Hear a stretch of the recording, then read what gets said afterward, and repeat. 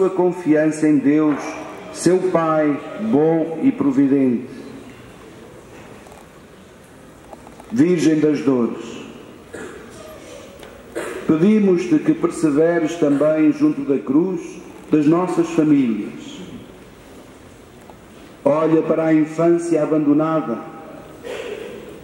olha para a juventude em perigo, olha para os anciãos sem assistência e sem esperança.